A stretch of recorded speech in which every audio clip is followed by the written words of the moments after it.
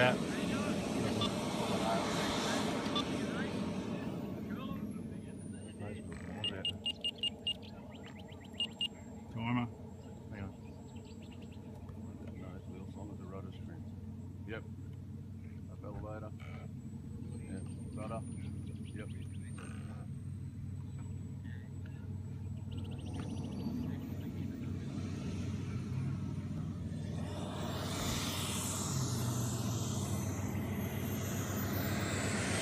Time is zero.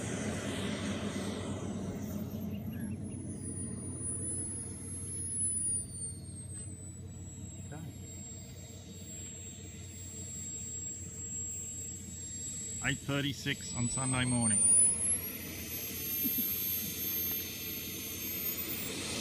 Okay.